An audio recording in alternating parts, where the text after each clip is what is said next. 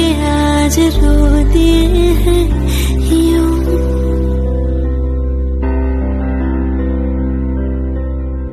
नैना, जो मिल के रात जागते थे, नैना, शहर में पल के बीचते हैं यूँ।